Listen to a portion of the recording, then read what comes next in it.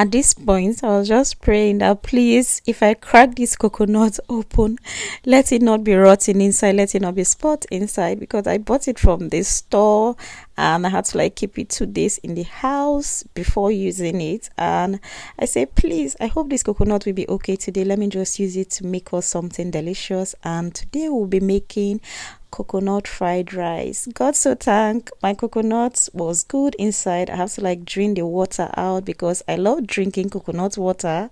And here is my coconut. I love it so well. It was good and perfect. And this is me saying, hello everyone. You all are welcome to Nessa Kitchen. A big thank you to all of you. Thank you so much for always watching my videos.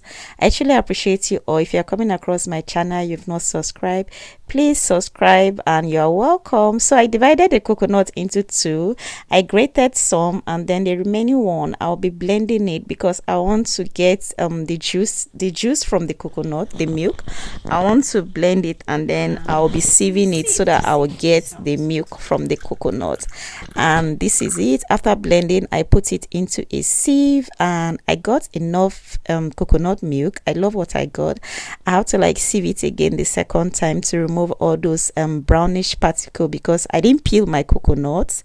You can go ahead and after breaking your coconuts, you will peel um, the skin that brownish part you can remove it so that you, your coconut will be like pure white when you blend the juice out then I'll be using this big mama rice and I put it in a bowl. I'll go in with some water. I have to like wash my rice very well.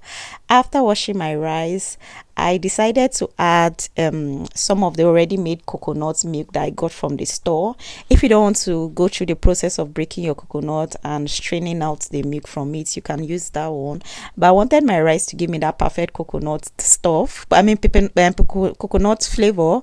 So I went in first with um, the coconut milk I got from the one I broke, and then I added the one I got from the store. It was a little bit frozen because I got it like a day ago, and it was in my shrunk. I mean, in my fridge. And we'll be using turkey in our rice. So i was boiling the turkey. I got the water out of the turkey and i mixed it inside the coconut milk i got. I went in with a little bit of salt and i'll be using maggi crayfish. I went in with one cube of maggi crayfish.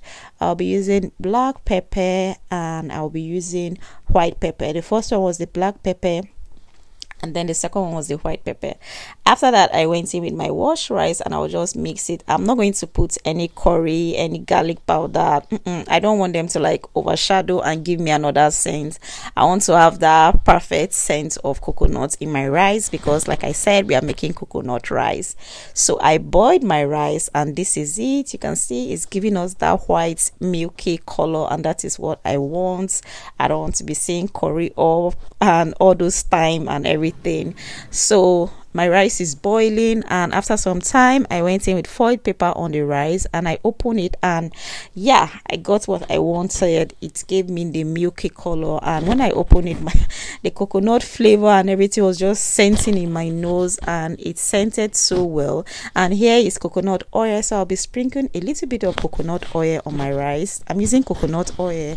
You can use vegetable oil but please if you are making your coconut um, fried rice just try your best to like get everything everything in the coconut formant so after that my rice is done. I took it away from the fire i put a pan. I went in with my coconut oil a little bit. Then i'll be using these shrimps. I got it from the store. It's like this. Um the color is like this because they put a little bit of garlic on it. And it also have spring onions. That's what is greenish on it. And i love it like that so much.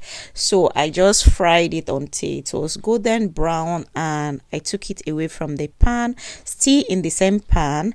I'll go in with my chopped onions and then i'll fry my chopped onions and then i decided to put just a little garlic. I didn't want the garlic to come and smell so much. Then i went in with the frozen vegetable. The first one had um carrot and green bean.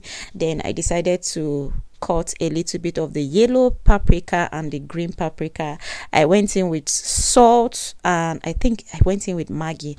Then I returned my shrimps into it. I'll mix it and here comes the magic that will give your rice that perfect coconut crunchiness and taste that you want. The coconut that I grated earlier. So i'll be putting it in my rice. If you don't want to grate it you can use this one. This one is already made.